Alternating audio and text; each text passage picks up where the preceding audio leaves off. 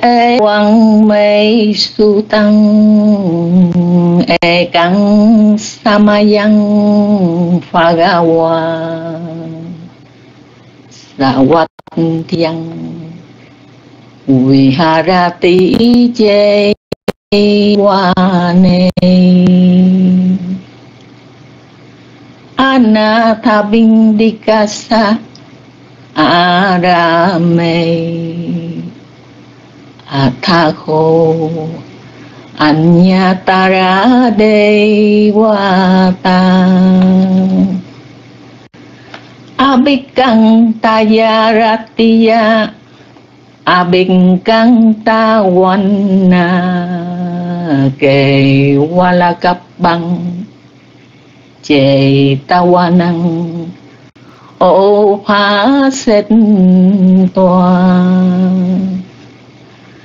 ye na phagawa te uppasang kami uppasang kami toa phagawang tăng a thi hoa đề toa e cá măng tăng a tha si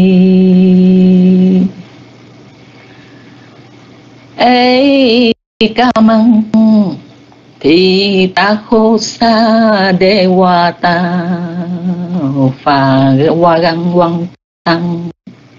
Gà tha ya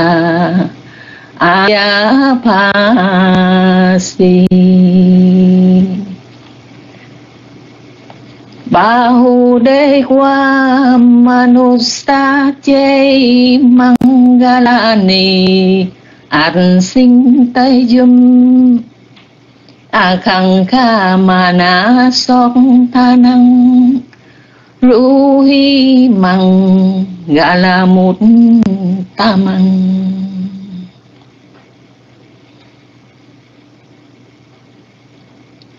Ese wana cha ba la năng Bandita nhận cha se wana Bu gia cha bu gia ni gia năng. Ê tăng măng gà môn tha măng. Dạ con xin xuống mít. Dạ con đã xong một khúc nào rồi con xin cúng dường ba ngôi tam bảo. Và đến uh, xích diệu đạt hay là xích trần đạo rồi xích diệu pháp. Và con xin con xin uh, dường mít lại cho quý sister nha và xa thú xa thú con xin xuống mít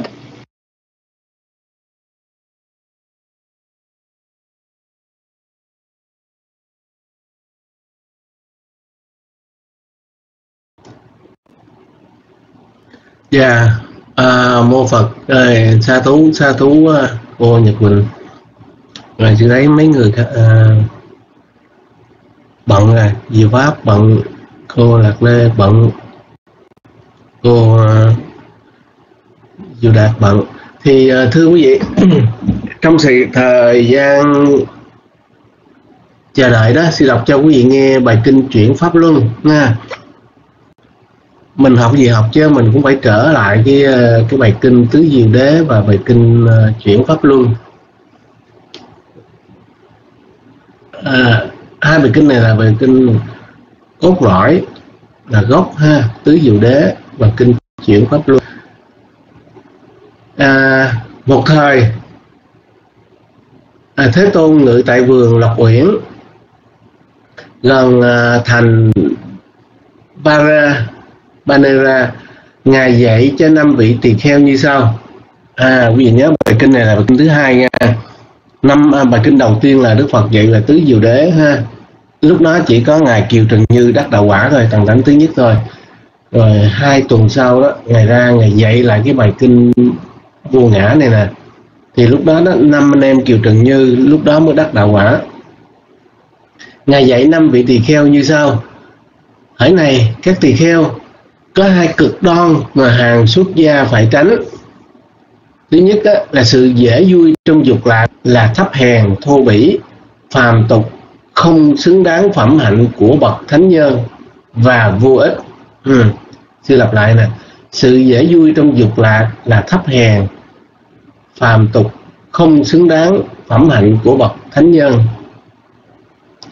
Sự tha thiết gắn bó trong lối tu khổ hạnh là đau khổ, không xứng đáng phẩm hạnh của bậc thánh nhân và vô ích. À đó là điều thứ hai, phải không? Là tu khổ hạnh rồi từ bỏ hai cực đoan ấy à phải từ bỏ hai cực đoan ấy như lai đã chứng ngộ con đường trung đạo. Ví dụ mà mà hưởng dục lạc đó à, cái đó là niềm vui của thế gian thôi. À, còn cái cái cái lối tu mà khổ hạnh đó, hành thân hại sát thì không có đưa đến đạo quả chỉ làm cho thân xác thì đau khổ và tâm trí thì nó bị mê mờ thôi không có đưa đến đạo quả. À, cho nên à, không có hưởng dục lạc và khổ hạnh ha. Cái đó là nhị nguyên. Cho nên đức phật á đức phật ngài từ bỏ cả hai cực đoan ấy. Như lai đã chứng con đường trung đạo. Đó người tu mình là phải đi theo con đường trung đạo ngàn nhớ. Mình có theo mình không có theo không có thiên về bên nào cả. Thì mình sẽ được thoát à, trung đạo là con đường đem đến nhãn quan và tri kiến và đưa đến an tịnh trí tuệ cao siêu giác ngộ niết bàn. Hỡi các tỳ khưu con đường trung đạo mà như lai đã chứng ngộ đem lại nhãn quan và tri kiến và đưa đến an tịnh trí tuệ cao siêu giác ngộ. Niết bàn là gì? Đó là bát chánh đạo. Bát chánh đạo thứ nhất là chánh tri kiến thứ hai là chánh tư duy thứ ba là chánh ngữ thứ tư là chánh nghiệp thứ năm là chánh mạng chánh tinh tấn chánh được à, chánh niệm đó chánh niệm là à, chánh định. Nhớ ngàn đó là tám cái chánh. Ở này các tỳ kheo đó là con đường trung đạo mà như lai đã chứng ngộ. Con đường đem lại nhãn quan và tri kiến và đưa đến an tịnh trí tuệ cao siêu giác ngộ và niết bàn. Ở này các tỳ khưu, bây giờ là con đường chân lý cao thượng về khổ thánh đế. Đó ngày quay trở lại tứ diệu đế. Sanh là khổ già là khổ bệnh là khổ tử là khổ. Chung với người mình không ưa thích là khổ xa lìa người thân yêu là khổ. Mong muốn mà không được là khổ à, tóm lại chính thân chính cái thân ngũ uẩn này á, là khổ. À, khổ đó là chân lý ha. Chân lý thứ nhất. Rồi bây giờ hỏi này các tỳ khưu đây là chân lý cao thượng về nguồn gốc của sự khổ. À, nguồn. Chính ái dục là nguyên nhân của sự tái sanh. Ái hợp với tâm thiết tha khao khát bám víu cái này hay cái kia chính ái đeo đuối à, đeo đuổi đeo níu theo nhục dục ngũ trần ái đeo níu với sự sinh và ái đeo níu theo ý tưởng không sinh tồn ừ. bây giờ hỏi này các tỳ kheo đây là chân lý cao thượng về sự diệt khổ ừ chân lý thứ hai đó là sự xa lánh trọn vẹn và tận diệt chính cái ái ấy. Đó là sự rời bỏ sự từ khước sự thoát ly và sự tách rời ra khỏi tâm ái dục. Bây giờ ở này các tỳ khưu đây là chân lý về con đường dẫn đến diệt khổ. Đó là chân lý thứ hai. À, trong kinh pháp cú ngài có nói rằng tha mái sanh ra lo âu tha mái sanh ra sầu muộn. Ha rồi thứ hai là ai dứt khỏi tha mái không lo âu không sầu muộn. Rồi um,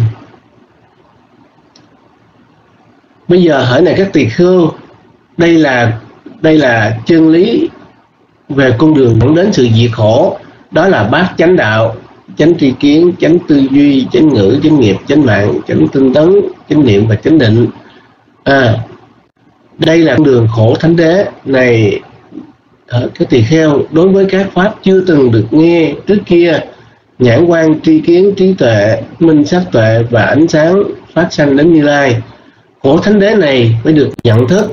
Như vậy, ở này các tỳ kheo, đối với các pháp chưa từng được nghe trước kia, nhãn quan tri kiến, trí tuệ, minh sát diệt và ánh sáng phát sanh đến như lai khổ thánh đế này đã được nhận thức.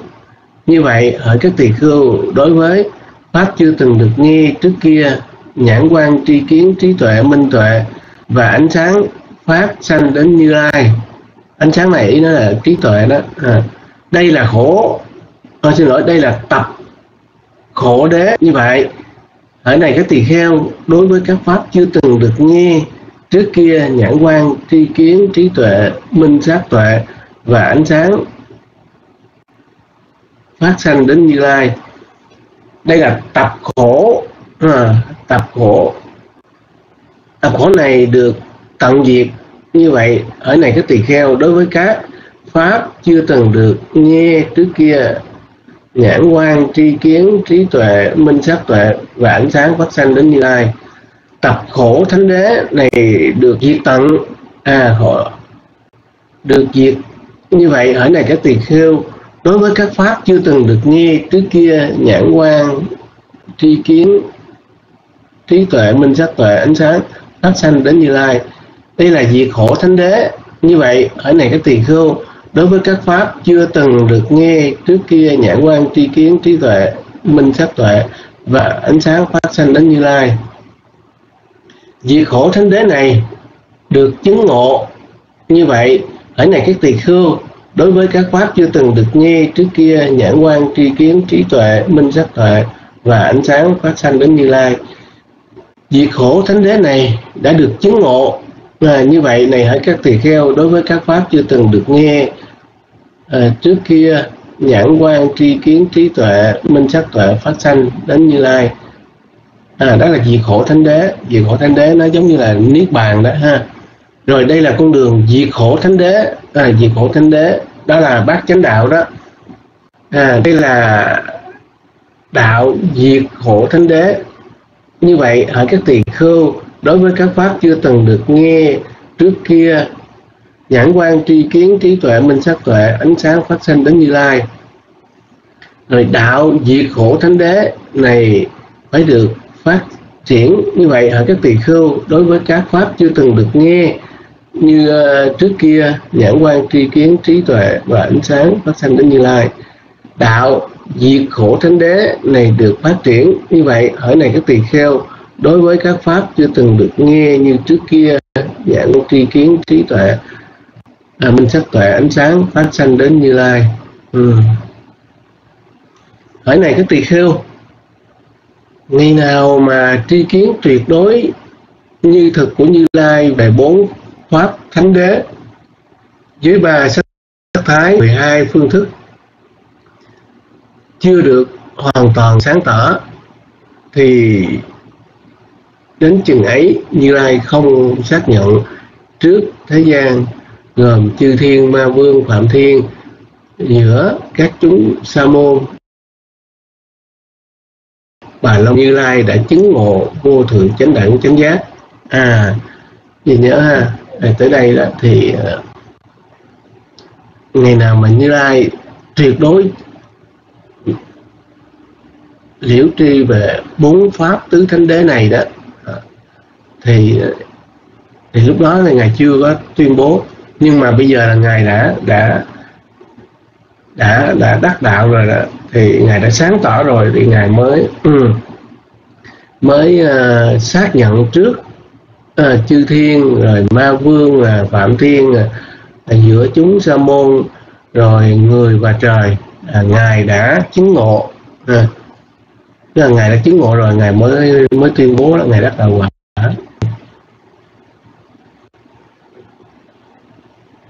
à, bây giờ là 9 giờ 28 rồi à. Đức Phật giảng như thế và các vị tỳ khưu lấy làm hoan hỷ tán dương lời Phật dạy. Đức Thế Tôn Phật giảng xong bài pháp này pháp nhãn của ngài Kiều Trần Như không còn vướng không còn vướng bụi hết bận nhơ. Và ngài thấy rằng cái gì có sanh tức phải có diệt. Ừ, pháp hữu vi ha. Cái gì có sanh ức tức phải có diệt. Mình tu là mình phải nắm vững cái chỗ này nha vô thường cái gì có sanh là nó sẽ diệt thôi. Cái gì có sanh là nó phải diệt thôi. Mình không có chấp thủ. À, mình chỉ là người hay biết và quan sát thôi. Pháp thiện nó sanh mình biết biết. Thiện thiện nó đến rồi nó đi thôi. Rồi pháp bất thiện nó đến rồi nó cũng đi thôi. Nó sanh nó diệt nó sanh nó diệt ha. Thì lúc này đó ngài kiều trần như thấy rằng cái gì có sanh ắt phải có diệt. Thì thì lúc đó lúc đức thế tôn chuyển pháp luân là lúc đó là lúc tức là cái bài kinh này đức phật giảng đó kinh chuyển pháp luân đó thì chư thiên trên quả địa cầu hoan hô à, thế tôn đã vận đã chuyển pháp luân tại vườn lộc uyển à, tại vườn lộc uyển chư thiên và à, ma vương phạm thiên và tất cả chúng sanh à, trên thế gian này được nghe à, thì lúc đó đó mười ngàn thế giới chấn động lung lay và rung chuyển mạnh mẽ một hào quang rực rỡ phát chiếu rọi sáng thế giới. Sáng tỏ à, sáng tỏ hào quang của chư thiên. Thế tôn nói à, con Kondanya nha con nha kiều trần như đã chứng ngộ. Ừ quý vị chứng chưa? Quý vị đắc chưa? Thôi thì chưa đắc thì bây giờ thưa thỉnh tỳ kheo à, pháp thanh à, bây giờ mời một vị thỉnh pháp sư nha. Mời cô Tường Mẫn đi hay là à, cô Trần Đạo giơ tay. Cô Trần Đạo lên thỉnh pháp sư ạ. À.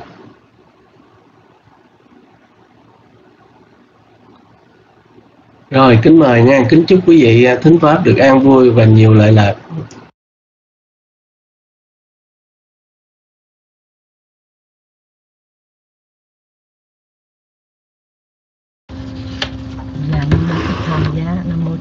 giá nam sang khai giá con kính đảnh lễ. À, sư thanh tâm sư pháp thanh cùng chư tôn đức tăng kính chào với anh chị trong đạo tràng. Con xin thỉnh pháp sư ạ. À.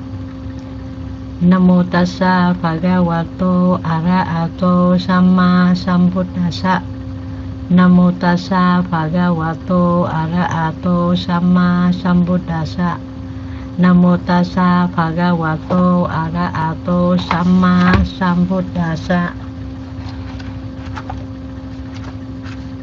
Ramma chaloka dipati sahang bati katang cali angthi warang aja chatha.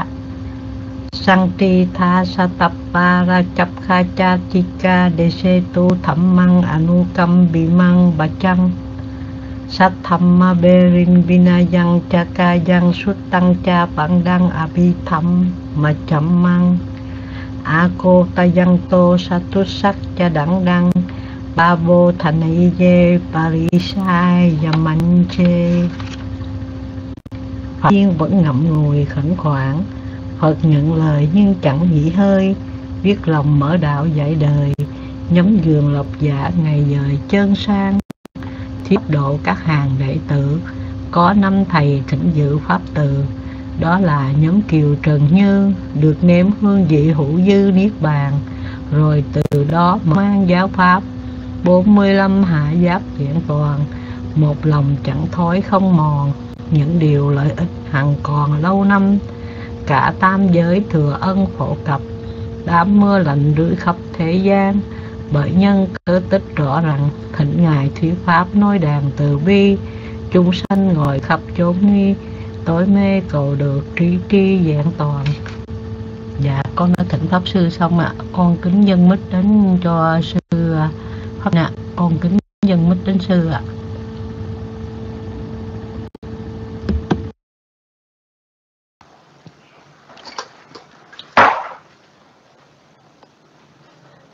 nam mô bút tha giá. Nam mô tham ma giá. Nam mô sanh ca giá. À, đến đỉnh lễ đồng đức trưởng lão chư hòa thượng chư thượng tọa chư đại đức tăng đã kính chào quý tu nữ và tất cả quý phật tử. Và cảm ơn cô trần đạo. Dạ, và hôm nay à, chúng ta học tới à, câu thứ 72 tà mạng đệ tử. Và bây giờ thì xin à, đọc bằng chánh kinh và sau đó sẽ à, à, giải thích về cái lời dạy của đức phật tà mạng đệ tử. Một một thời tôn giả Ananda ở Kosambi, tại khu vườn Kosita rồi một tà mạng đệ tử gia chủ đi đến tôn giả Ananda. Sau khi đi đến, đảnh lễ tôn giả Ananda rồi ngồi xuống một bên. Ngồi xuống một bên, tà mạng đệ tử gia chủ nói với tôn giả Ananda thưa tôn giả pháp của những ai được khéo thuyết, những ai hành trì ở đời, những ai khéo vượt qua ở đời. Vậy này, gia chủ, về vấn đề này ta sẽ hỏi ngươi. Ngươi tham nhẫn thế nào? Hãy trả lời như vậy.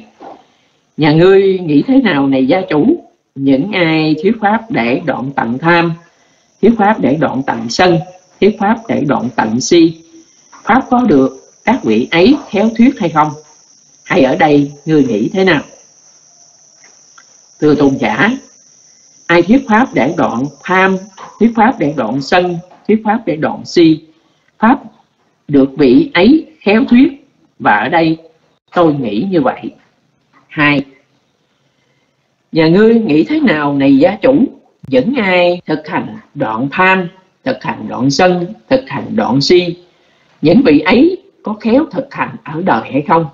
Hay ở đây tôi nghĩ thế nào? Thưa tôn giả, những ai thực hành đoạn tham, thực hành đoạn sân, thực hành đoạn si, những vị ấy khéo thực hành ở đời. Và ở đây tôi nghĩ như vậy. Nhà ngươi nghĩ thế nào, này gia chủ, với những ai tham được đoạn tận cắt đứt từng gốc rễ, làm cho như thân cây ta la làm không thể hiện hữu, làm cho không thể sanh khởi trong tương lai.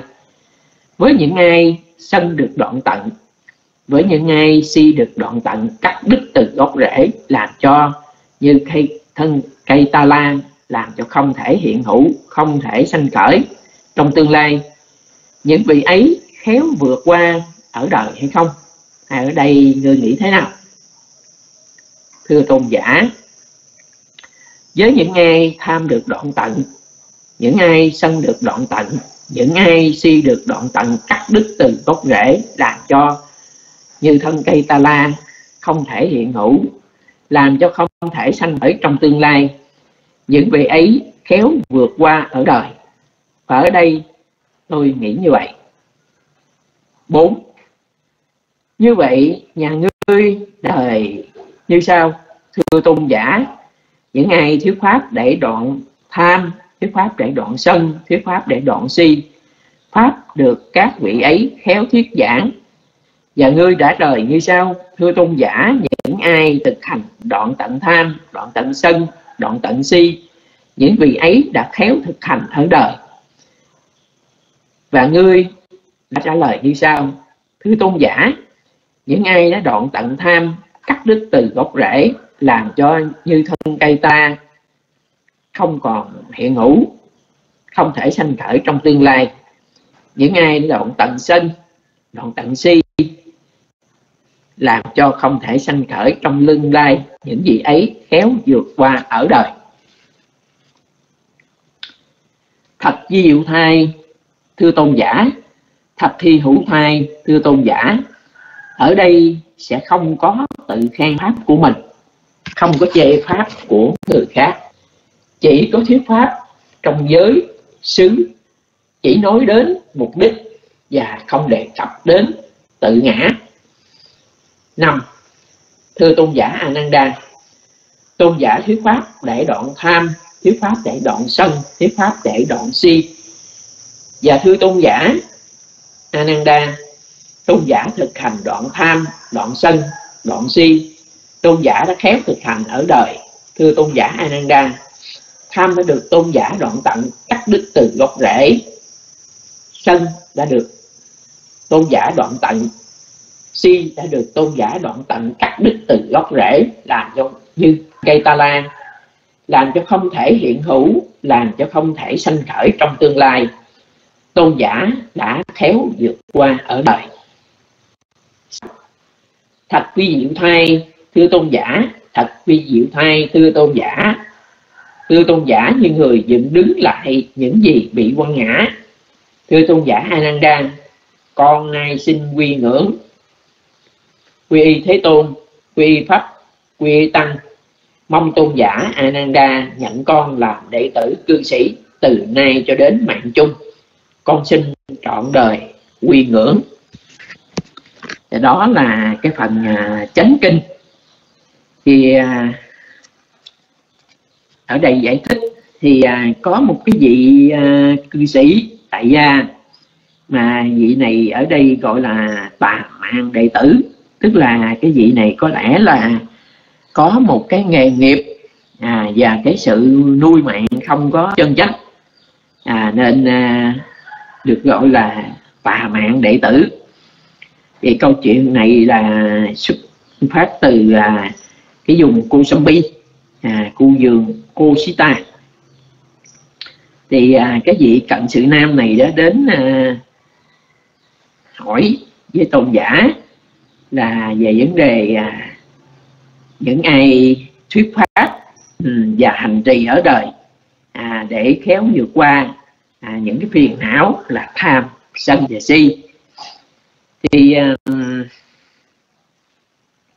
cái điểm đặc biệt ở đây á, thì à, cái à, phương cách để mà thực hành đoạn trừ tham sân si thì cũng như à, cái câu 71 nói.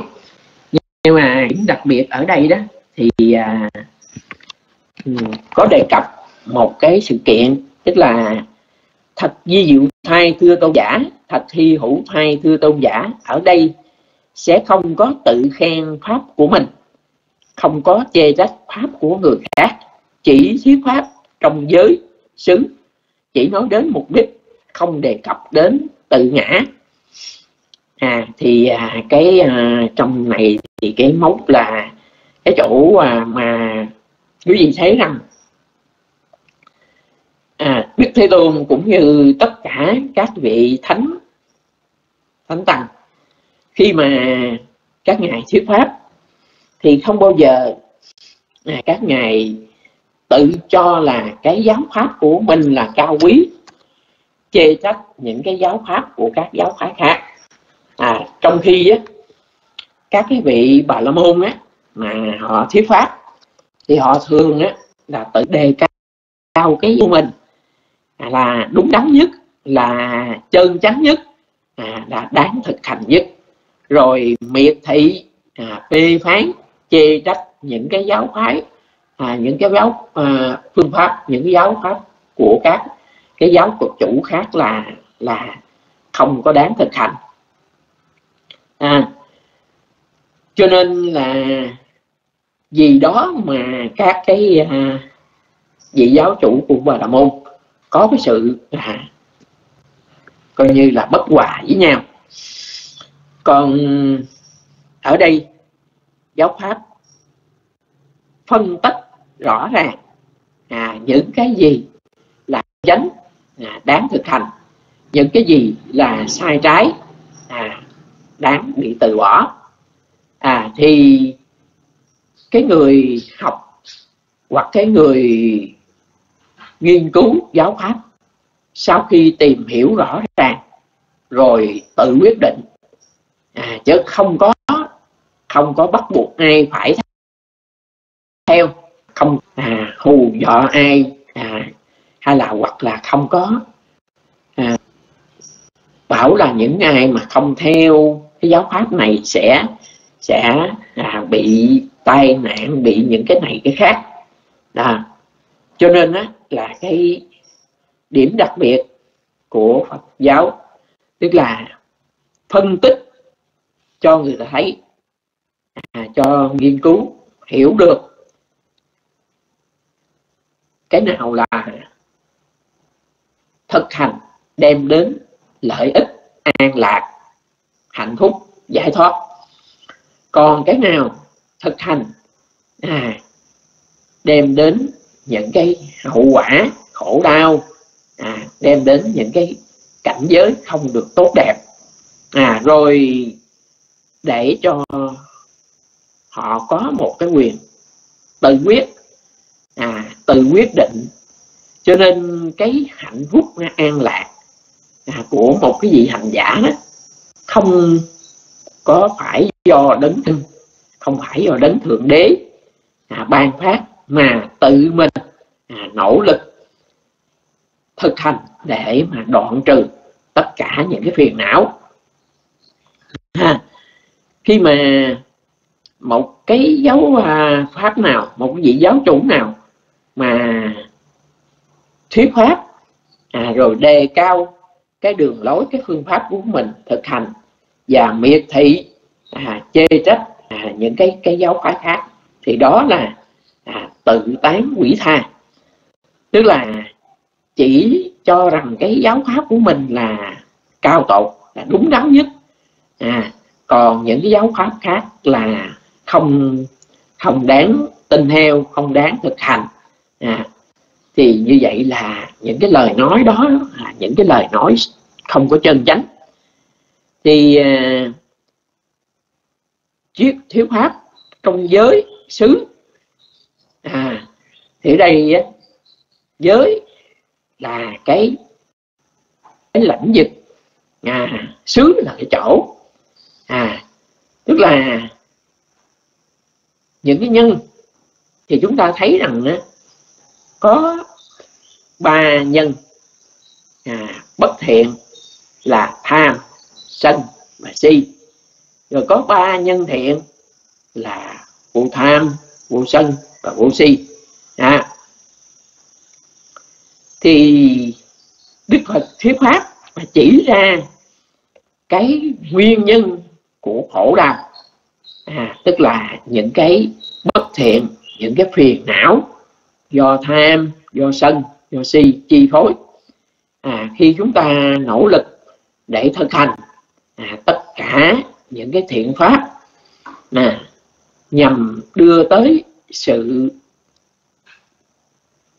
viễn ly à, sự từ bỏ tất cả những cái bất thiện à, là những cái nhân những cái mầm móng cái nguồn gốc của khổ đau.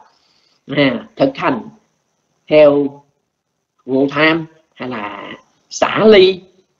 À, rồi vô sân tức là tâm từ à, thương xót tất cả chúng sanh an vô mát mẻ với tất cả chúng sanh. À rồi trí tuệ để thấy được thực tướng của tất cả các đối tượng là đều chung một cái quy luật của dạng pháp đó là vô thường khổ và vô ngã. Ha. Rồi đức phật chỉ ra là tất cả à, các pháp à, dù là người hay là chư thiên đều là vô ngã. Không có một cái bản ngã, không có một con người. À tất cả chỉ là vận hành, do duyên. À tất cả các pháp cấu hợp tạo thành một chúng sanh. Đến một lúc nào đó, do nhân, do duyên à thì nó tan rã ha chứ hoàn toàn không có một cái bản ngã, không có một linh hồn à không có một người nam, một người nữ nào ở trong một cái thân ngũ quân. cho nên chúng ta phải hiểu rằng đức phật đưa ra cho chúng ta thấy rằng ở trong cái thân ngũ quân hai thành phần danh để sắc. À, chúng ta phải thấy được cái điều này. À, rồi từ bỏ cái niềm tin sai lầm à, có một cái bản ngã. À, có một hay là có một người nam một người nữ ở trong cái cái thân ngũ quẩn này. À, từ đó mà chúng ta thoát khỏi những cái tà kiến sai lầm à, chứ không phải chứ không phải là diệt ngã. À, có nhiều người hiểu sai lầm là Phật pháp mà thấy để mà diệt diệt bản ngã. Nhưng mà sự thật ra cái ngã nó có đâu mà diệt nhưng cái trí tuệ chúng ta thực hành à, để thấy rõ tất cả đều là danh và sắc. À do những cái nhân duyên danh sắc à hợp hội tụ à để tạo thành một một chúng sanh. À, chứ hoàn toàn không có một cái một cái bản ngã. Nè chính vì chúng ta vô minh tà kiến à, cho rằng à, có một con người có một người nam, một người nữ. Cái sắc thì nó bị tiêu hoại, nhưng mà cái linh hồn thì nó trường tồn bất biến. À rồi chúng ta bám chấp vào cái cái tự ngã. À mắt của tôi à thân là của tôi, tài sản của tôi. Đây là những cái cái sai lầm. Hay là hoặc là những cái cảm thọ này à. Tôi đang đau đớn. À, tôi đang an vui. À, thì chúng ta à, đồng quả với những cái cảm thọ này mà sinh ra sự chấp thủ sai lầm. Cho nên à, thường thường à, thích thú bám níu chấp chặt vào những cái cái đối tượng à, vừa lòng khả hỷ khả lạc à, thích ý thì bám níu chấp chặt. À, còn nếu những cái đối tượng à, không khả hỷ không khả lạc à, thì à, xua đuổi. À, cho nên cái những cái khổ đau nó sanh khởi. À, thì chúng ta thấy rằng tất cả đối tượng chỉ là đối tượng à, do nhân do duyên. À, những cái thiện sự à, chúng ta đã tạo trữ thì bây giờ các cái đối tượng tốt đẹp an vui à, đến lúc đủ điều kiện nhân duyên nó sinh khởi. À, chúng ta biết rằng tất cả các đối tượng thì nó sanh rồi nó sẽ diệt. À, không có đối tượng nào là chúng ta à, bám níu chấp thủ. À, hoặc là khi mà những cái đối tượng trái ý nghịch lòng những cái điều mà chúng ta không mong muốn à, đâu có ai mình mong muốn là mình bị ốm đau bệnh tật. Nhưng mà do nhân do duyên à, đến lúc những cái quả xấu nó phát sinh à, thì chúng ta biết à, chúng ta đối với những đối tượng dù là tốt đẹp thích ý vừa lòng hay là đối tượng không có tốt đẹp không có sự an vui à, tất cả do nhân do duyên chúng phát sanh.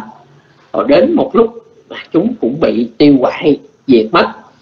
À, khi mà hiểu biết như vậy chúng ta giữ quân bình à, sáng suốt ghi nhận quán sát tất cả đối tượng. Những đối tượng thích ý như lòng thì nó cũng sanh rồi diệt. À, những đối tượng à, khổ đau không an lạc nó phát sanh rồi nó cũng diệt.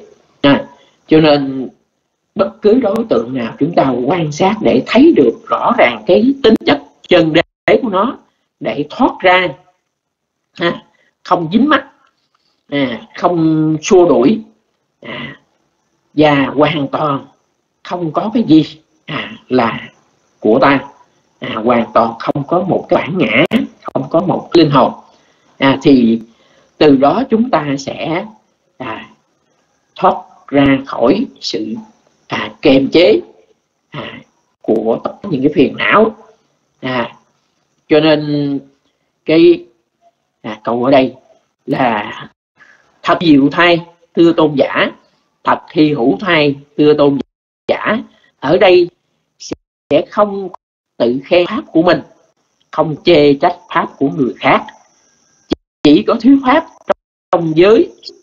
Chỉ nói đến mục đích và không đề cập đến tự, tự ngã.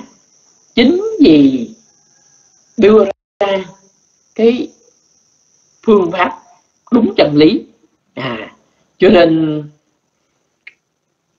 những cái lời dạy của Đức Phật à, cách này hơn 2.600 năm à, nhưng mà đến cái thời kỳ hiện tại này à, chúng ta áp dụng vẫn còn à, hiệu lực gì á Đức Phật thuyết pháp đúng chân lý à,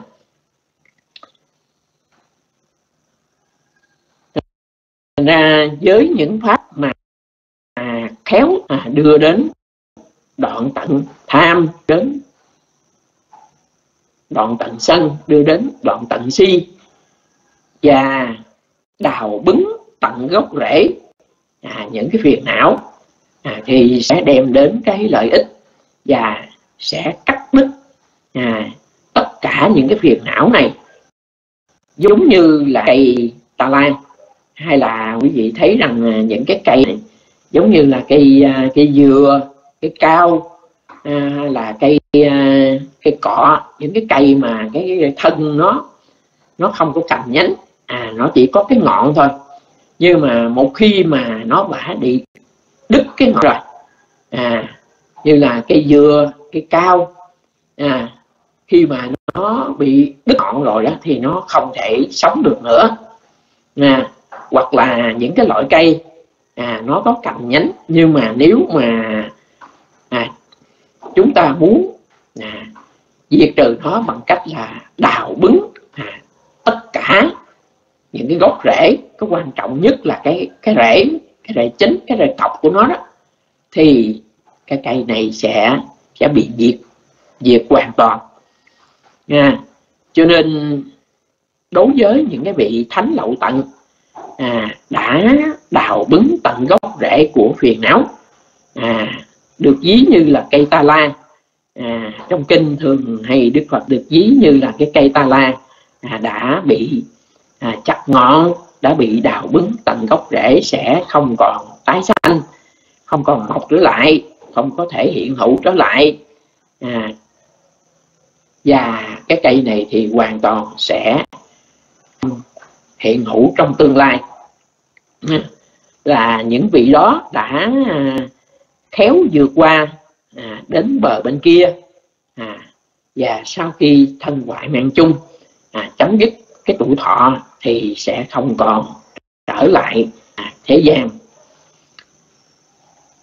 Cho nên cái mục đích là chúng ta à, học pháp à, hiểu biết Phật pháp để à, chúng ta nỗ lực thực hành. À, chúng ta phải tự phản tỉnh.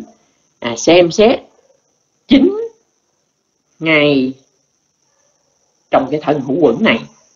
À, chúng ta là người có có gìn giữ các cái học giới hay không? À, chúng ta có thực hành những các cái thiện sự hay không? À, chúng ta có nỗ lực à, tinh tấn theo con đường bát chánh đạo để diệt trừ tất cả phiền não hay không. À, chứ chúng ta không nên à, nhìn ra bên ngoài. À, thì khi mà chúng ta nhìn ra bên ngoài thì phiền não nó sẽ dấy động à, điều quan trọng là tự mình à, gìn giữ thực hành các cái học giới. Chứ đừng có nhìn người khác coi người ta có có gìn giữ các cái học giới hay không. À cũng là tự mình phải thu thúc lục căn với chánh niệm tỉnh giác để quán sát xem xét đối tượng. Chứ đừng lăng xăng nhìn coi cái người họ họ có có chánh niệm hay không. Vấn đề mà họ có giữ giới có chánh niệm họ có tu tập thì cái phước đó họ nhờ. À còn nếu mà bản thân mình á, có sự nỗ lực gìn giữ các học giới à, thực hành đầy đủ chánh niệm tỉnh giác thực hành tất cả à, tám cái phương pháp đem đến sự an vui hay là bắt chánh đạo. À, đó là cái nhiệm vụ của của chính mình. À không ai có thể làm thế thành những cái nhiệm vụ này được mà phải tự mình làm. À, cho nên à, ở đây chúng ta phải tự phản tỉnh xem xét à, tất cả những cái điều thiện sự mình đã làm chưa. Rồi mình có thực hành nỗ lực tinh tấn à, một cách miên mặt hay chưa à, thì sẽ đem đến cái lợi ích. À, chúng chúng ta không nên à, nhìn bên ngoài rồi phê phán để cho à, tạo điều kiện cho phiền não nó sanh khởi. Thì qua cái à, câu 72 à, thì à, qua phần chánh kinh à, đức dạy và cũng xin chia sẻ với à, quý vị đôi điều à, trong những cái à, hiểu biết. Và sau đây thì xin mời à, chư công đức cũng như tất cả quý vị à, cùng thảo luận à, chia sẻ thêm những cái à, à, điều mà Đức Phật dạy để chúng ta có thể trao đổi à, đời sống chúng ta thực hành đem đến những cái sự lợi ích an vui và hướng đến cái con đường giải thoát trong ngày vị lai. À, với phước báo này kính cầu mong chư tôn đức trưởng lão pháp thể ca nghe. À, kính chúc quý tôn nữ cũng như tất cả quý phật tử à, có nhiều sức khỏe an vui có niềm tin à, tu tập thật nhiều những thiện sự trong đời sống và hướng đến con đường giải thoát trong ngày vị lai. Nam mô bút thầy Giác dạ bây giờ xin mời đạo tràng.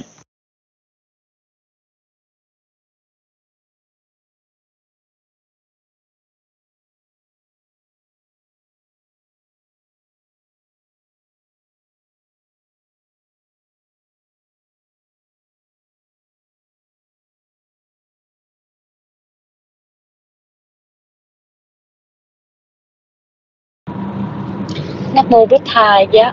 Nắp mô Tham Mai giá. Nam mô giá Dạ con xin kính đảnh lễ sư Thanh Tâm. Dạ con lễ sư Phổ Pháp Thanh. Dạ con xin kính chào toàn thể đạo tràng. À, Dạ bây giờ à, xin thay mặt đạo tràng kính tri ân sư Pháp Thanh đã giảng dạy cho chúng con bài học của ngày hôm nay. À, Dạ bạch sư à, Nguyên Như có một cái ờ, thắc mắc khi mà trong việc học Pháp của mình đó bạch sư. À, con cứ nghe chư tăng giảng về cái à, 10 10 thiện nghiệp tức là à, thập thiện. Thập thiện thì nó ngược lại với lại thập ác. Còn cái 10 cái điều phước thiện nữa là à, bố thí trì giới cung kính tu tiến đó bạch sư là hai cái đó nó khác nhau. Um, mà có con biết có là nhiều phật tử họ hay lộn qua lộn lại từ cái hai đó cũng là thiện nghiệp mà hai đó cũng đều có số 10 đó sư. Dạ xin sư có thể giảng qua sơ cho chúng con để chúng con nhớ lại bài học sư. Dạ con xin nhân mít lại cho sư ạ. à.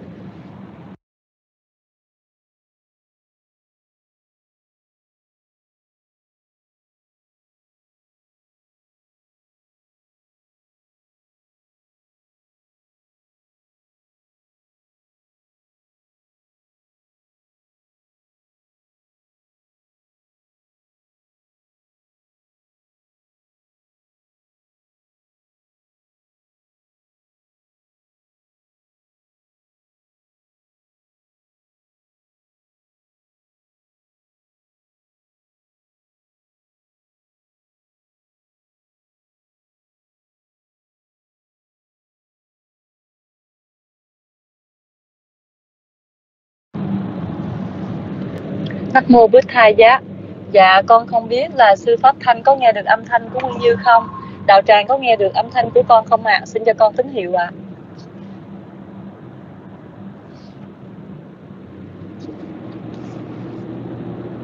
Dạ con không biết sư Pháp Thanh có mặt trước máy không, bạch sư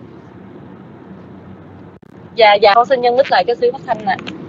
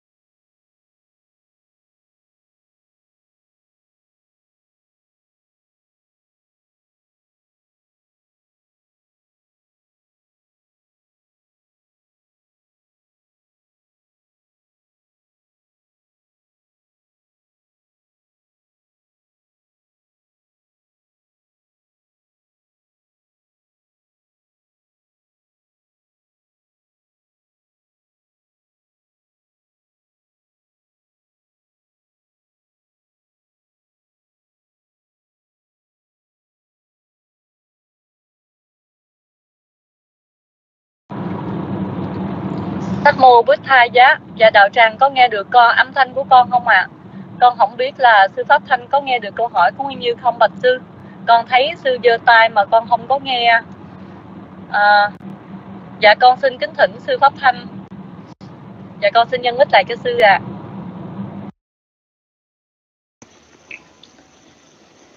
Nam mô Bụt Thầy Giá thì um, cái thường thường đó là cái uh, thập thiện hay là à, thập hạnh phúc.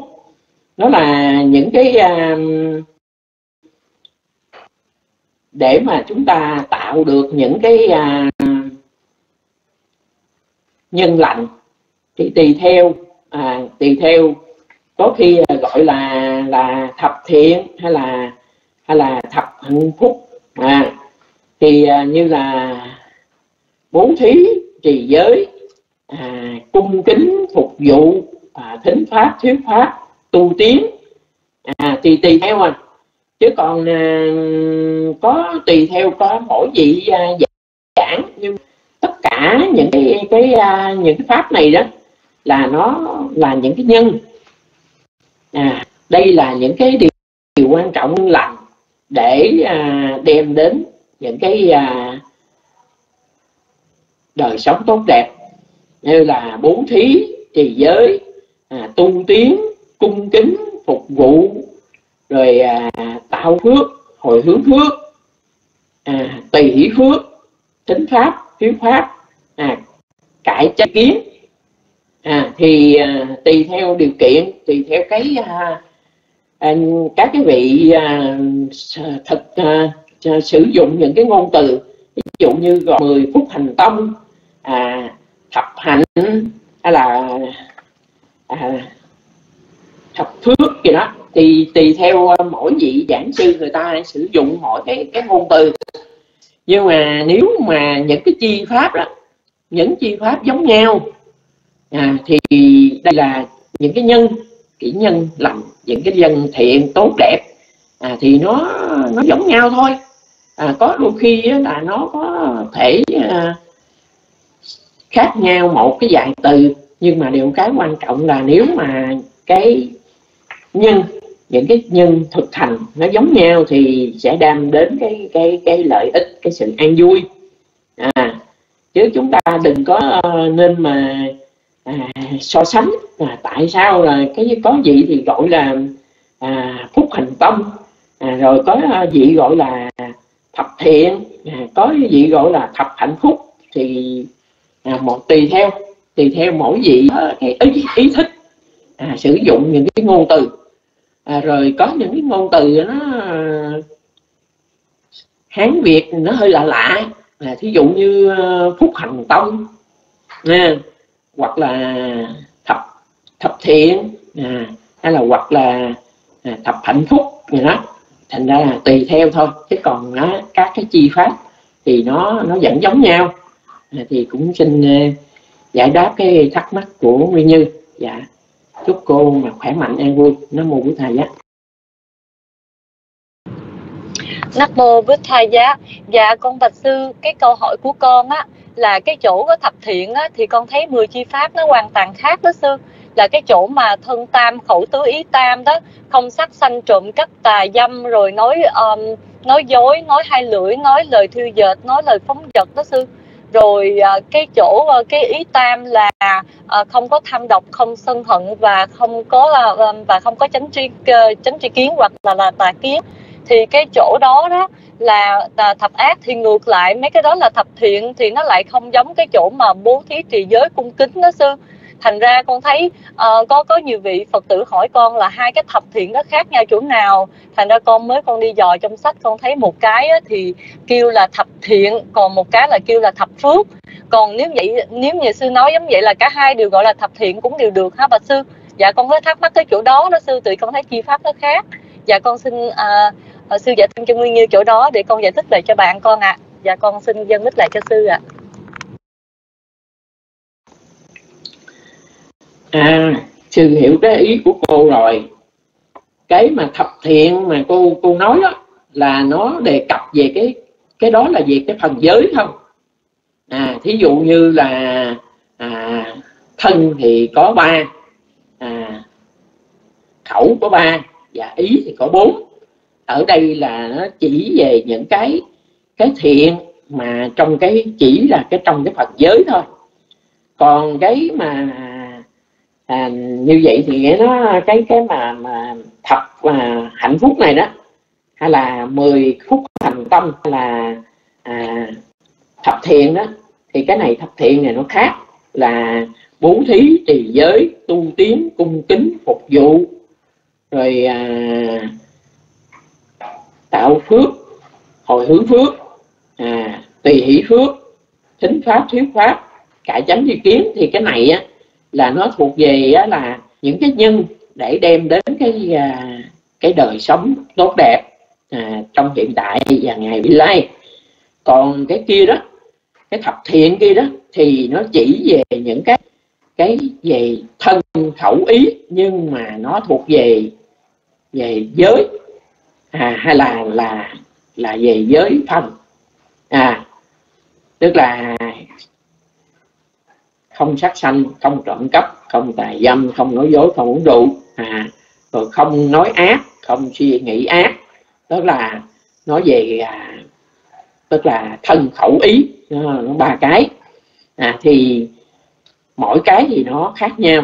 Ví dụ như cái 10 cái đó đó là chúng ta gìn giữ trên cái cái phần giới của mình à, tránh xa những cái bất thiện à, tránh xa về cái gìn giữ về cái, cái giới à, hay là tránh ngữ tránh nghiệp à,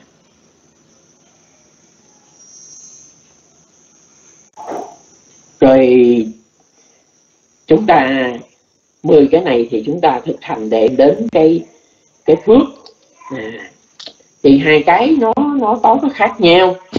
À thí dụ cái kia thì chúng ta à, không không sát sanh à, không trộm cắp không tà dâm rồi không nói dối à, không nói đâm thọc không nói à, lời à, tà ngữ không nói ác à, không suy nghĩ ác à, không sân ác tham ác suy nghĩ à, đó thì cái đó là thuộc về cái à, cái phần về à, thập thiện nhưng mà về giới à, còn cái này là thập à, thập hạnh phúc à, thôi à, thập à, phúc hành tông.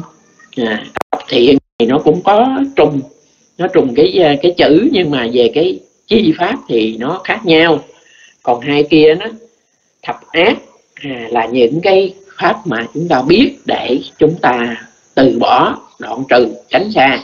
Còn cái thập thiện thì chúng ta sẽ thực hành theo còn này thì chúng ta thực hành để đem đến à, những cái lợi ích tốt đẹp à, những cái nhân lành à, để đem đến cái một cái đời sống hiện tại được an vui và hướng đến những cái công hạnh để đời sống tương lai được đi đến những cảnh giới tốt đẹp an vui.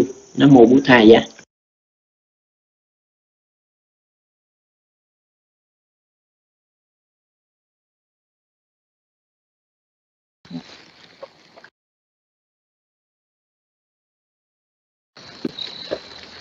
cảm ơn con về chị chào chúc chào chúc chào chúc Nắc mô Bút Tha Giá, Nắc mô Tham Ma Giá, Nắc mô Sang Kha Giá. Dạ con xin uh, kính tri ân sư Pháp Thanh để giảng dạy câu hỏi của Nguyên Như ạ. À. con xin kính uh, lễ xưng thông con thấy sư vừa mới vào đạo tràng. Dạ con xin thỉnh sư có vài lời nói với đạo tràng. À, bây giờ mình cũng còn có khoảng 16 phút đó bạch sư. Dạ tụi con xin sư chia sẻ ạ. À.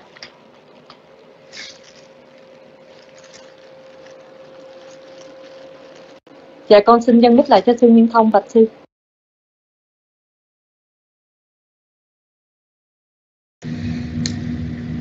À, xin cảm ơn siết uh, à, Nguyên Như, Nguyên Thông mới vào không biết chuyện gì xảy ra cho nên là xin uh, uh, trao mai lại cho sư phụ yên tâm để sư phụ thanh tâm uh, uh, chỉ thị. Dạ, xin con xin mời sư phụ thanh tâm. Dạ.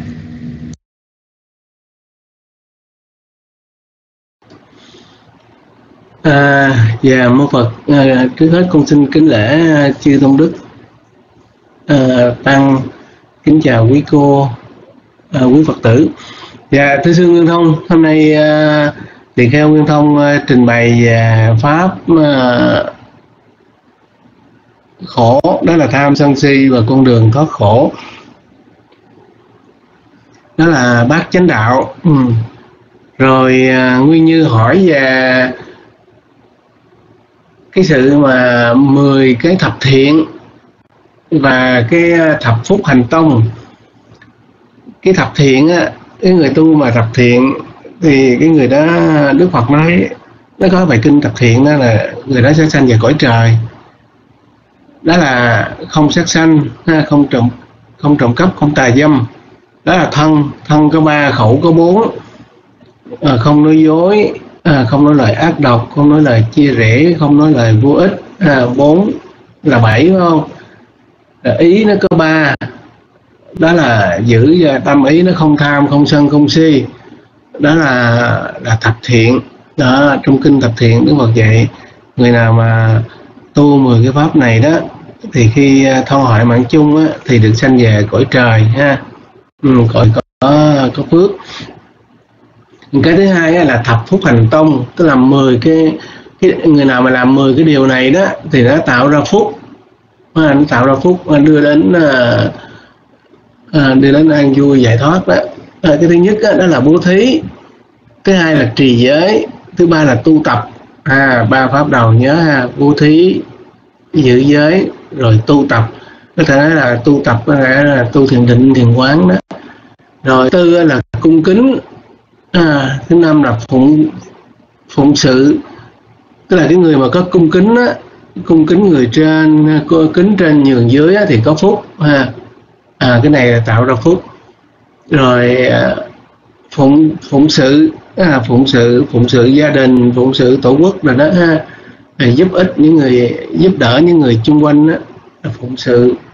Thì có thì vì để coi mình mà phụng sự người khác á mình thương người ta mình phụng sự người ta, người ta thương mình à, kính trọng mình mình có tự tin ha rồi cái thứ sáu là thuyết pháp. À, thuyết pháp cũng có phước.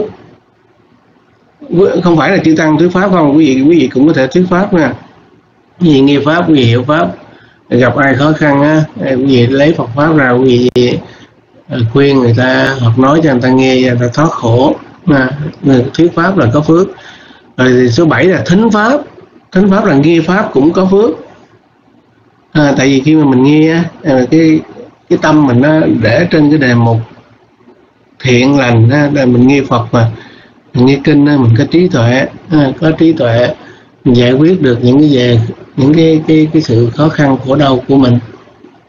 Rồi hồi hướng công đức à hồi hướng công đức cũng có phước ví dụ mình sau khi mình làm một điều thiện ví dụ như bố thí hay là thọ tam quy ngũ giới hoặc là tụng kinh phật hay ngồi thiền á thì mình có phước. Thì lúc đó tâm mình thiện lành thì lúc đó mình hồi hướng phước báo đến cho thân bằng quyến thuộc đã quá vãng. À, hồi hướng đến cho họ thì họ họ nghe họ hoan hỷ thoát ra cảnh khổ thì mình có phước. Rồi thứ chín là tùy hỷ. À mình phải, mình mình tùy hỷ với lại cái cái sự thành công của người khác. Mình thấy người ta thành tựu điều thiện, điều lành, mình hoan hỷ với họ. Tức là mình mình mình không có ganh tị, ghen ghét ha. Mình tùy hỷ với cái phước của họ. Thấy người ta đi chùa làm việc thiện, đi đi làm giúp đỡ người nghèo mình mình tùy hỷ, mình hoan hỷ với họ, thì mình sẽ được an vui ha. Rồi cái thứ thứ mười á là là là cải tạo cải tạo cái cái cái tà kiến của mình. Tức là mình làm cho mình có chánh kiến á à, mình làm cho mình có chánh tri kiến tức là mình phải học mình phải tu. Thì đó khi mà tâm của mình mà nó có có có chánh tri kiến tức là cái người biết nhân biết quả à, biết chân lý tứ diệu đế à, đó đó là người có có có chánh tri kiến, ha, biết biết các pháp vô vi là vô thường, khổ vô ngã đó đó là người có chánh kiến cho nên cái người mà có chánh kiến họ chỉ làm những điều thiện, điều lành thôi, mà lo tu thôi thì thưa quý vị đó là thập phúc hành tông, gọi là 10 10 pháp mà tạo ra phúc, ha. và cái cái này là 10 cái cái cái cái thập thiện ừ thì hai cái hai cái tuy rằng cái tên nó khác nhau nhưng mà nó vẫn mục đích chính vẫn là đưa đến đưa đến thiện lành. À, được phước báo được an vui giải thoát. Yeah. nó là nền tảng của tu học. Mình nó được nhẹ nhàng không rồi thì à, thưa thì kheo nguyên thông à, thỉnh thì kheo nguyên thông à, chia sẻ thêm nhé. Dạ thỉnh sư ạ.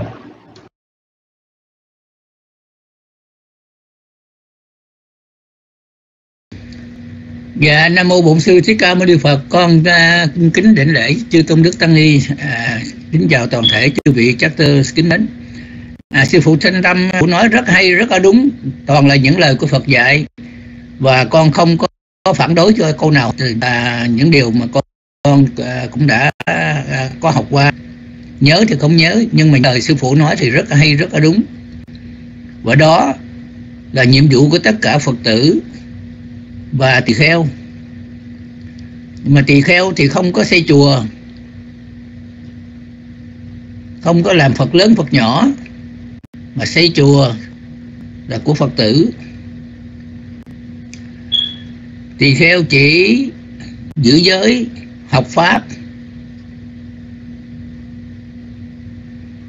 Và đàm luận pháp khi có cơ hội. Và giảng pháp khi có người hỏi. Thì đó là những cái nhiệm vụ của cái người tỳ kheo mà con đã học qua như vậy. Ở này nói về tất cả những vị tỳ kheo để con là người là sơ cơ. À, tu hành có một hai năm nay chứ không có nhiều. Thành ra không có thể à, giảng giải được khi mà không có cái bài học không có chuẩn bị. Và tất cả những điều mà sư phụ nói đều là rất là đúng rất là hay.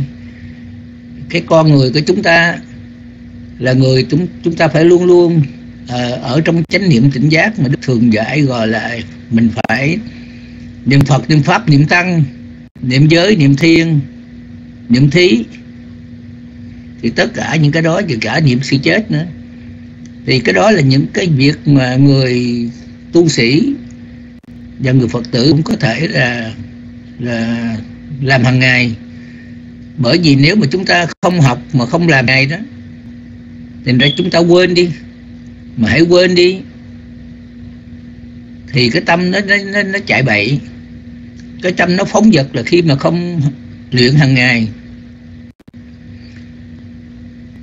Khi mà rảnh rang thì người phật tử là tu sĩ nên à, niệm phật niệm pháp niệm tăng niệm giới niệm thiên niệm thí. Còn hàng ngày thì ít nhất là hai lần chúng ta phải tụng kinh. Tụng kinh để làm gì? Tụng kinh là không phải là để dâng cho phật. Không phải như vậy mà tụng kinh là để cho mình nhớ lại lời dạy của đức, đức phật bởi vì nếu không tụng kinh thì cũng là quên lời dạy của đức phật. Cho nên sáng thì phải tụng chiều phải tụng. Còn khi nào rảnh nữa thì tụng thì tốt chứ ít nhất là một ngày hai lần là phải tụng. Là vì nếu mà một người mà không tụng kinh đó, mà không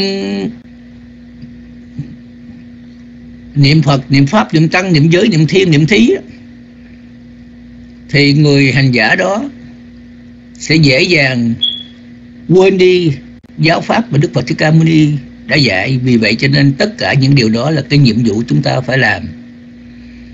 Mà nếu mà chúng ta không làm là chúng ta bê trễ và bê trễ thì cái đó là để cho cái tâm phóng vật nó là sanh khởi. Và hãy tâm phóng vật sanh khởi rồi chúng ta là hành động sai lầm. Bởi vì mình không có chánh niệm. Chánh sống trong giây phút hiện tại. Mà sống trong giây, giây phút hiện tại với người hành giả đó là niệm Phật, niệm Pháp, niệm Tăng, niệm giới, niệm thí, niệm thiên. Và niệm sách vì vậy cho nên cuộc đời của những người Phật tử và tu sĩ là có những công việc đó. Toàn là những điều mà chúng ta phải nhớ đến Phật, đến Pháp, đến Tăng, đến giới. Và cái công việc làm của chúng ta là cái duy trì cái trí tuệ của chúng ta để nó ở với chúng ta khi mà chúng ta chưa chứng quả. Bởi vì chúng ta là những chúng sanh còn vô minh thì còn vô minh là còn phóng vật mà còn giải đãi và còn lười biếng. Cho nên cái người mà siêng năng tu hành là cái người đó luôn luôn lúc nào cũng ở trong giáo pháp, sống trong giáo pháp của Đức Phật Thích Ca Mâu Ni đã giảng dạy. Hay là nói chung là sống trong giáo pháp của chư Phật. Bởi vì cái giáo pháp của chư Phật từ xưa đến nay là chỉ là một mà thôi. Tất cả những vị chánh biến tri đều đã giảng dạy tứ diệu đế, bát chánh đạo, thập nhị dân duyên thiền chỉ, thiền vipassana. Và đó là những cái điều chánh mà chúng ta phải học, phải nhớ, phải tu.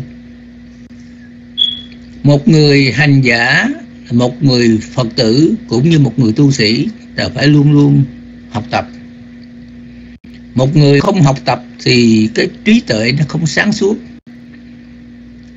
nếu mà học tập và ôn luyện thì trí tuệ mới có sáng suốt. Trí tuệ sáng suốt và ôn nhuần giáo pháp của Đức Phật Thích Ca Mâu Ni giảng dạy bằng cách mình niệm như là Nguyên Thông đã nói và tụng kinh để nhớ lại giáo pháp của Đức Phật Thích Ca Mâu Ni. Cho đến khi nào mà chúng ta có cái dịp gặp được vị chánh biến tri tái sanh và nhờ cái công năng tu hành của chúng ta chúng ta tạo được những ba la mật, thì ngài sẽ có thể là giúp cho chúng ta để làm liên lại miết sinh liên. Ở đây ta dùng chữ miết sinh liên có nghĩa là một cái dòng, một dâu một cái chuỗi tu hành.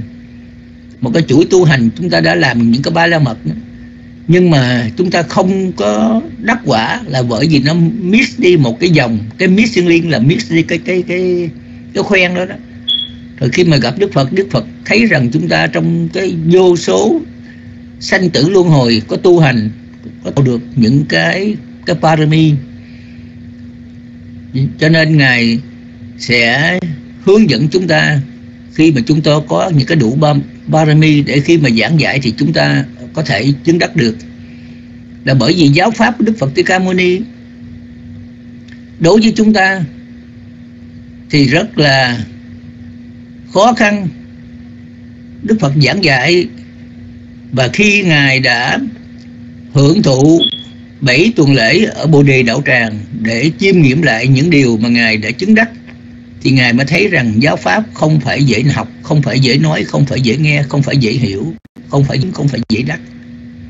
Vì vậy cho nên chúng ta nhất thiết là cũng phải nghe lời sư phụ ờ, Thanh Tâm nói là 10 cái điều thiện, 10 điều ác thì ráng mà trừ khử cái điều ác, 10 điều thiện thì quán ráng phải tu tập việc thiện.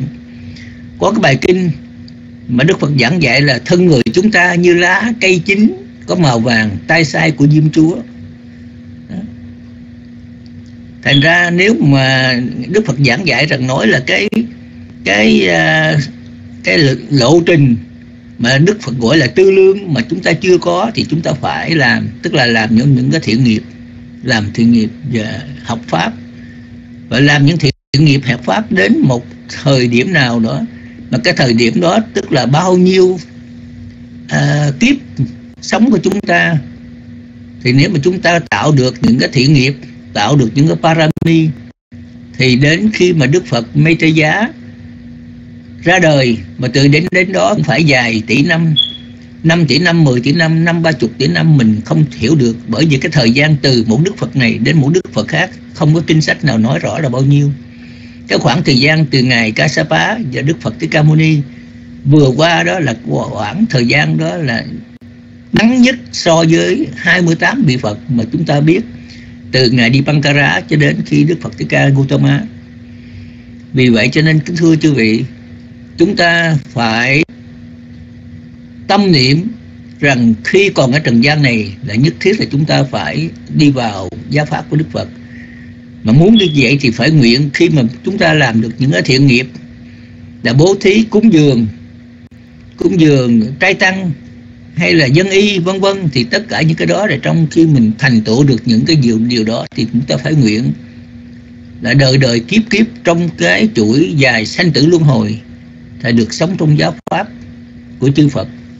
Được sống gần chùa, gặp thiện trí thức để tu hành. Thì đó là cái nguyện mà chúng ta, khi mà chưa chứng quả, chưa chứng những cái tầng thiền, thì phải nguyện như vậy.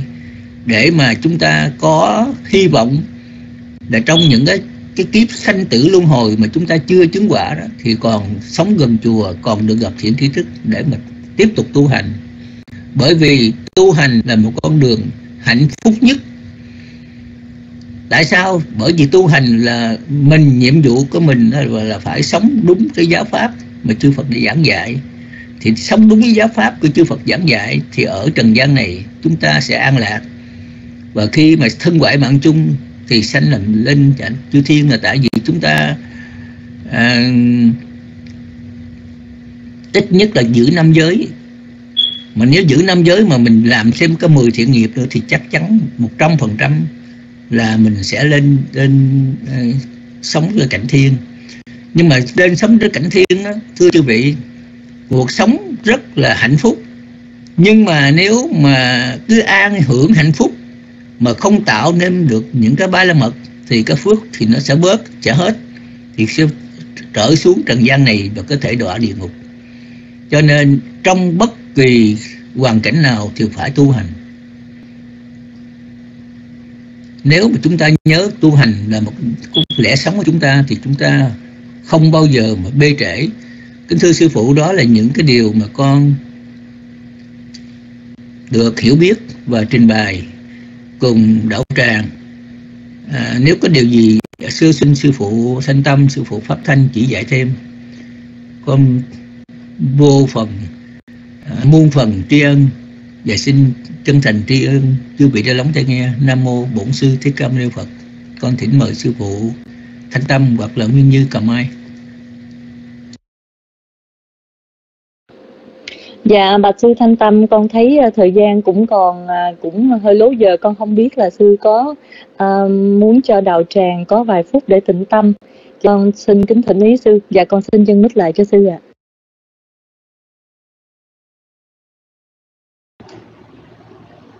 Dạ, yeah.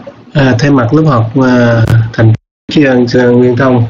Dạ, yeah. mình à, uh, nghe pháp rồi, hiểu pháp rồi.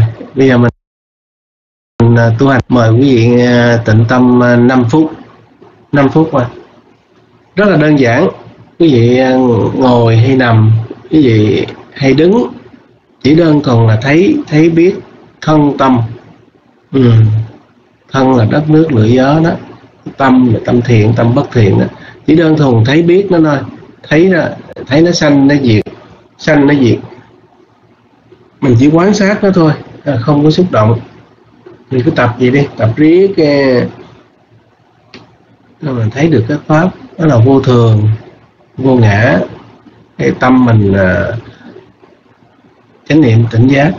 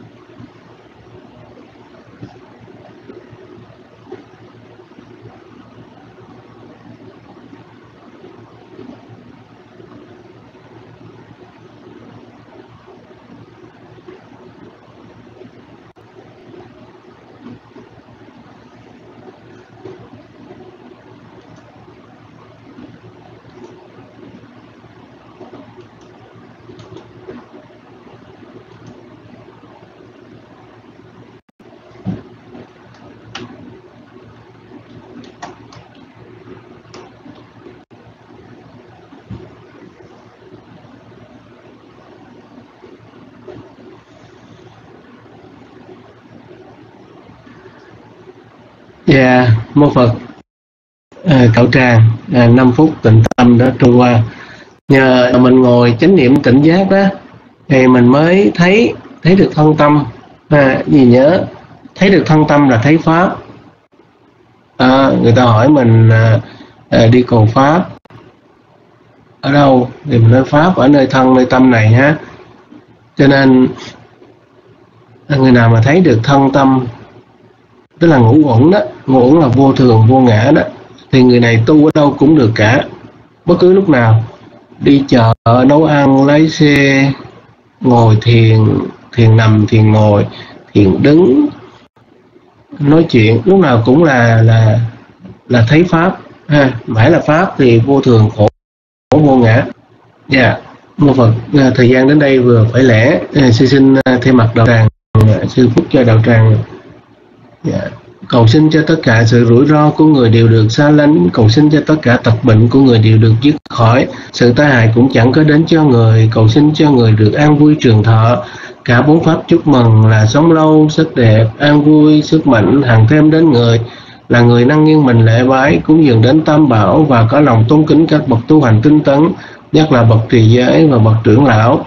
Tất cả hạnh phúc hằng đến cho người. Cầu xin chư thiên hộ trì đến người do nhờ oai đức của chư Phật do nhờ oai đức của giáo pháp do nhờ oai đức của chư tăng các sự thạnh lợi thường thường đến người cầu xin cho quả của tâm tính thành bảo cho được thành tựu mỹ mãn cho được thành tựu mỹ mãn cho được thành tựu mỹ mãn Dạ, mô Phật uh, kính thưa quý vị, uh, buổi học hôm nay đến đây vừa phải lẽ. Uh, ờ, trước khi dứt lời, uh, nguyện cầu ân tâm bảo và chư thiên gia hộ cho tất cả quý vị được an vui, khỏe mạnh, tu hành tinh tấn, mau đến nơi dạy thoát. Nhường lại cho như chưa ạ. Nắc mô Bích Thai Giá, Nắc mô Tham Ma Giá, Nắc mô Sang Khai Giá. Dạ con xin kính tri ân sư à, Thanh Tâm đã thay mặt chư Tăng để chúc phúc cho đạo tràng của chúng con buổi tối hôm nay. Dạ Nguyên Như xin thông báo lại một lần nữa cho những quý vị mấy bữa nay không có vô lớp. À, ngày mai à, thì Nguyên Như kỳ viên sẽ tổ chức một buổi à, sinh nhật của lớp. À, năm nay hình như Nguyên Như nhớ là nó vừa tròn 4 tuổi rồi mà sư Thanh Tâm, sư chủ rưng mới chính là cha đỡ đầu. À, có cái... À, một cái sự nỗ lực rất là lớn để nuôi bé Bi Nguyên Như Kỳ Viên à, trong vòng 4 năm qua à, cha lúc nào cũng giống ăn không ngon ngủ không yên với bé Bi Nguyên Như Kỳ Viên của mình. Dạ thành ra Nguyên Như à, xin kính mời quý vị trong đạo tràng ngày mai nhín chút thời gian thì mình sẽ bắt đầu sớm một chút xíu là khoảng 9 giờ. Thì để à, vô mà mình có thể có thời gian để à, tri ân à, chư tăng và các thầy cô giáo và cũng à, một à, có một lúc mà mình có thể là hội mặt với nhau để mà mình có thể nói là những cái ý kiến và có thể là um, quý vị có thể có những ý kiến và có những đóng góp để à, làm cho cái sinh hoạt của Zoom càng ngày càng phong phú hơn. À, um, sa thú uh, cho Nguyễn ngày mai em nhớ đem uh, soda napkin giống như sư Nguyên Thông nói và đem cái bánh bự nha cho Nguyễn. Ok um, và bây giờ thời gian cũng vừa phải lẻ con xin kính mời chư vị trong đạo tràng cùng với con hồi hướng sau khi nghe Pháp ạ.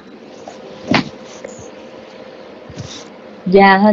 Ya ra Santi si ni Thủ Bê Kare kha rê Tà Hình Tà Hình Tà Thamma Đà Nê Na Pha Văn Tu Phu chi Ta Sọ Thình Ca Tê Tha Vihara Măng Đà Lê Thề ra cha mắt cha na wa ca cha tình kha vô sa ra. Mi ca đa na ba ti upa sa ca. Ga ma cha de sa ni ga ma cha isara sap ba na phu ta sukhita pha văn tu te cha la bu cha ye bi cha an da sam wa san se da cha ta tha vô pa pa ti ca ni ya ni can tham ma wa răng pa tình cha tê sầm bê bi đúng kha sa ca ron tu sang kha yang. Tha tu chỉ răng sát tăng thầm mô thầm mắn, tha ra cha bùng ta la sang khô hô tu sa mắc gô wa ya cha hi ta ya cha am he rang ca tu san tham mô. Tam bê bi tham ma cha ri no gu thân sam pa bu nay ya ma tham ma ri yap ba quê. Đi tê y đằng nô nha ti nằng hô tu, su khi ta hoan tu nha ta vô y đằng nô nha ti nằng hô tu, su khi ta hoan tu nha ta vô y đằng nô nha ti nằng hô tu, su khi ta hoan tu nha ta vô ý đằng quá tám mê buồn nhằn à xá quắc khá già, quá hằng hồ tú á nà tề cà do sự phước báo mà chúng con đã trong sạch làm đây, xin hội hướng đến thân bằng quyến thuộc đã quá vãng.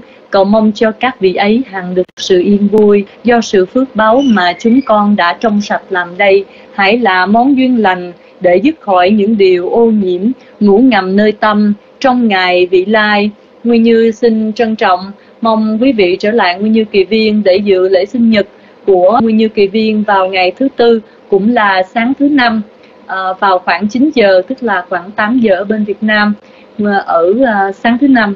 Và Nguyên Như xin trân trọng kính chào toàn thể chư vị. Nam mô Bổn sư Thích Ca Mâu Ni Phật.